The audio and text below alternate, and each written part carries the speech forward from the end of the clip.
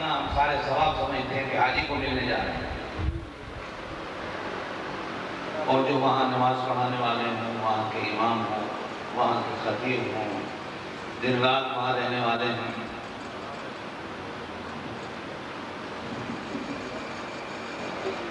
الرحمن الرحيم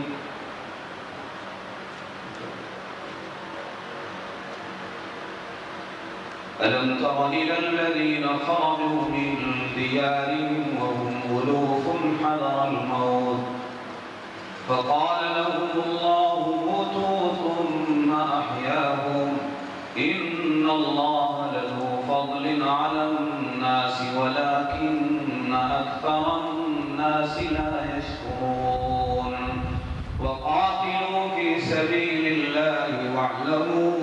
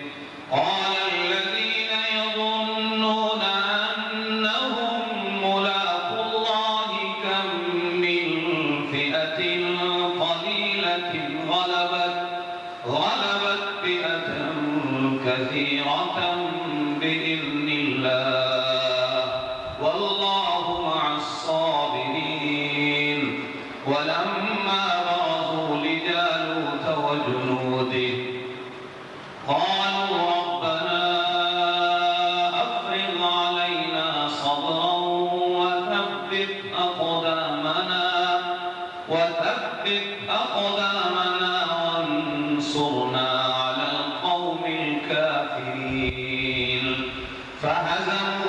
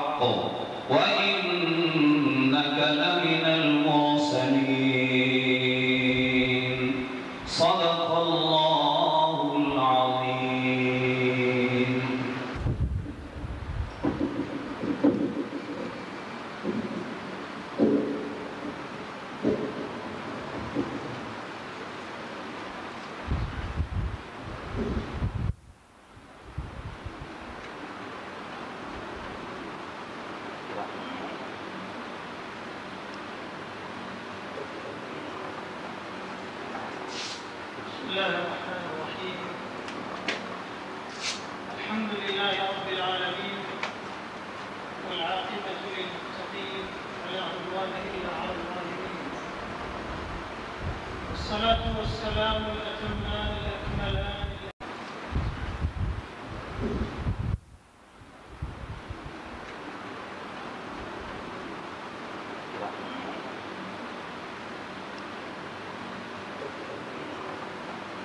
بسم الله الرحمن الرحيم الحمد لله رب العالمين والعاقبة للمتقين ولا عدوان إلا على الظالمين والصلاة والسلام الأتمان الأكملان الأزكيان الأشرفان على سيد الأولين والآخرين وخاتم الأنبياء والمرسلين نبينا وحبيبنا وسيدنا وقدوتنا محمد بن عبد الله رسول رب العالمين.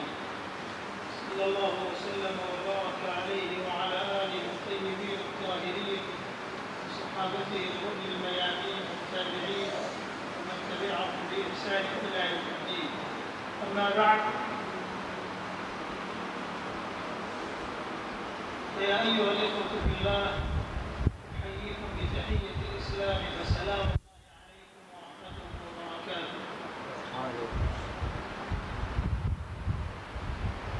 ويسرني بهذه المناسبة السعيدة والفرصة الطيبة أن ألهج بالشكر والثناء لله جل وعلا على أن من علي بهذا اللقاء الطيب المبارك مع إخوة في الله. تربطنا بهم رابطة العقيدة وتصلنا بهم آصلة آصلة الإيمان والإسلام والأخوة في الله تبارك وتعالى. مهما اختلفت الأقطار وتناءت الأمصار الله عز وجل يقول إنما المؤمنون إخوة. ويقول سبحانه وتعالى والمؤمنون والمؤمنات بعضهم أولياء بعض. فالمسلمون مهما اختلفت ألوانهم وأجناسهم ولغاتهم وألسنتهم فهم إخوة في دين الله تبارك وتعالى. إن يختلف ماء الوصال فماؤنا عذب تحذر من غمام واحد أو يفترق نسب يؤلف بيننا دين أقمناه مقام الواحد. فليست الأنساب وليست الأحساب هي التي تجمعنا ولا المصالح الدنيوية وإنما الذي يجمعنا قوتنا في الله تبارك وتعالى. فإني أحمد الله عزيما من إخوتي في الله في حركة ختم النبوة في هذه البلاد. فشكر الله لهم دعوتهم لأخيهم وسعيهم في وجود أمثال هذه اللقاءات المباركة. وإني أخص بالشكر أخي الكريم شاهد حسين خان والأخ الكريم الشيخ محمد طيب وجميع الإخوة أعضاء هذه الحركة المباركة ولقد سرني نشاطهم وجهدهم في الدعوة إلى الله عز وجل وقيامهم بهذه الأعمال والمناشر في هذه البلاد من الحرص على وجود المراكز والمصليات والمساجد والمدارس الإسلامية والجهود المباركة المتعددة في مجالات الدعوة الإسلامية. فجزاهم الله خيرا وضاعف مثوبتهم وزادهم من الخير والتوفيق. بمنه وكرمه أيها الإخوة أنتم في هذه الحركة وفي هذه الجمعية المباركة تطلعون بدور مهم. الإسلامية. وهذا تشريف وتكليف. فمن نعم الله عز وجل على عبده أن هداه الإسلام ووفقه لسلوك الطريق المستقيم العقيدة الصحيحة الإيمان التوحيد الاتباع للحبيب المصطفى صلى الله عليه وسلم. هذه نعمة من نعم الله على الإنسان فعليه أن يشكر الله عز وجل عليها. وأن يجسد هذا الشكر عمليا وتطبيقيا في الالتزام الصحيح بالمنهج الإسلامي السليم. في وقت كثرت فيه الدعاوى للانتساب إلى الإسلام لكن الإسلام الصحيح الذي جاء به كتاب الله وسنة رسوله صلى الله عليه وسلم وسار على ذلك سلف هذه الأمة من صحابة رسول الله صلى الله عليه وسلم والتابعين لهم بإحسان. هذا هو المنهج الذي ينبغي أن يسلكه المسلم. لا سيما في مثل هذا الزمن الذي كثرت فيه الفتن وكثرت فيه الانحرافات وكثرت فيه الدعاوى إلى الإسلام لكنها ليست دعاوى صحيحة. فالمسلم يجب عليه أن يتبين الطريق وهو يدعو الله عز وجل في كل صلاة من صلواته اهدنا الصراط المستقيم. الصراط المستقيم هو صراط الذين أنعم الله عليهم من النبيين والصديقين والشهداء والصالحين وحسن أولئك رفيقا. غير المغضوب عليهم ولا الضالين. وأتباعهم وأشياعهم من الفرق المخالفة للإسلام. فوصيتي لإخواني في هذه الجماعة أن يعرفوا عظم التبعة وضخامة المسؤولية وأن يقوموا بالواجب الكبير أولا في تقويم أنفسهم ومعالجة التقصير والخطأ الذي يوجد بطبع الإنسان. فإن الإنسان بطبعه يقع في الخطأ والتقصير لكن عليه أن يعلم أنه إنما يمثل الإسلام في كل حركاته في كل سكناته وفي كل أعماله وتصرفاته ينبغي أن يجسد الإسلام تطبيقا عمليا لا سيما في اعتقاده في اتباعه. في قيامه بالشعائر في حفاظه على شخصيته الإسلامية من التميع والذوبان والتقليد والميزانية في مثل هذه المجتمعات وأيضا في حسن التعامل مع المسلمين ومع غير المسلمين حتى يعكس صورة صحيحة عن الإسلام. ثم أيضا لا من إدراك خطورة الأمر وأن المسلم مطالب أن يدعو إلى الله عز وجل. فعليه أن يبذل قصارى جهده في الدعوة إلى الإسلام في التفاني في الخدمة في بذل المزيد من الجهود في الدعوة إلى الله تبارك وتعالى عن طريق هذه الجمعية وغيرها. المهم أن تعلموا أنكم مشرفون بهذا الأمر العظيم وأنكم مكلفون بالقيام بهذه المسؤولية الكبيرة. إن قضية ختم النبوة قضية عقدية وقضية شرعية وقضية من أهم قضايا هذا الدين الحنيف التي أرسل الإسلام دعائمها وجاء النبي صلى الله عليه وسلم لتحقيقها وبيانها غاية البيان. يقول الله عز وجل ما كان محمد أبا أحد من رجالكم ولكن رسول الله وخاتم النبيين وكان الله بكل شيء عليما. ويقول النبي صلى الله عليه وسلم أنا خاتم النبيين لا نبي بعدي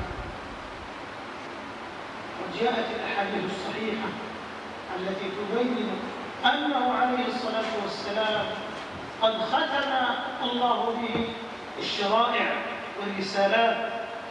كما جاء في الحديث الصحيح إنما مثلي ومثل الأنبياء من قبلي كمثل رجل بنى بيتا وحسنه وكمله إلا موضع لبنه فأخذ الناس يأتون إلى هذا البيت ويعجبون به ويقولون ما أحسنه وما أجمله لولا هذه اللبنة فأنا هذه اللبنة وأنا خاتم النبيين أو كما قال صلى الله عليه وسلم. وفي هذا حسم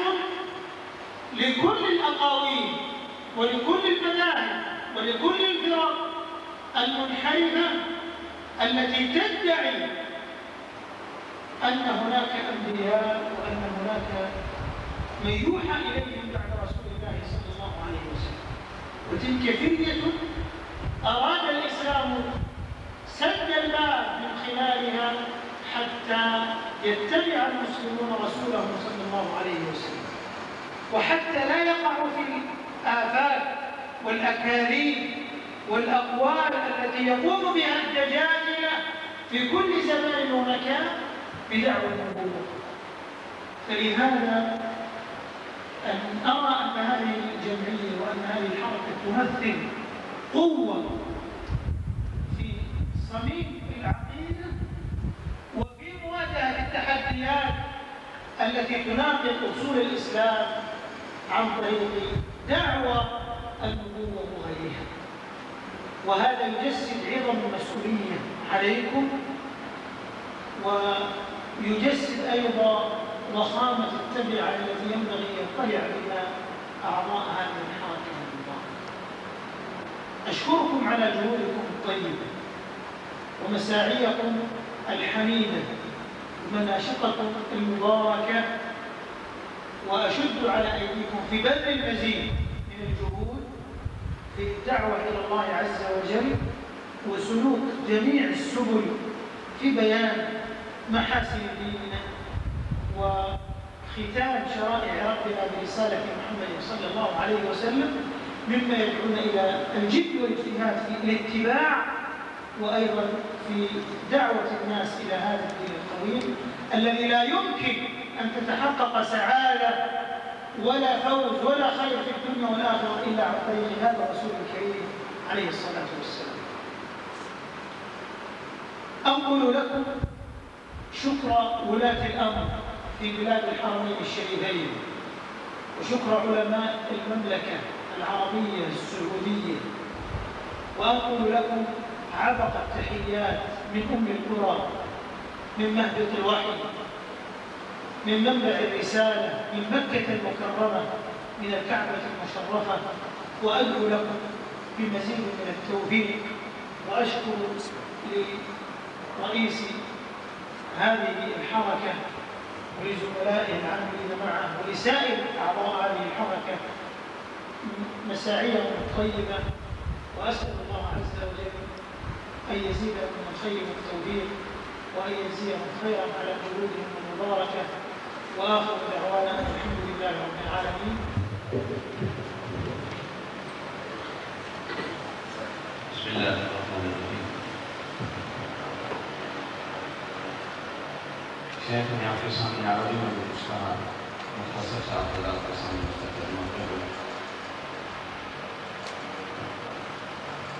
اللہ حمد و ثنا نبی کریم علیہ الصلوۃ والسلام کو درود و سلام پیش کرنے کے بعد شیخ نے فرمایا کہ آج کی ملاقات پر جو آپ حضرات سے میری اپیل ہو رہی ہے، میں اللہ کو شکر گزار ہوں کہ اللہ تعالیٰ نے مجھے آپ دوستوں سے خالص دین جمان ملاقات کرانے کا شرف بخشا ہم سارے آپس میں بھائی بھائی، مسلمان ایک جسم کی طرح ہوتے ہیں، مسلمان سارے بھائی بھائی ہیں۔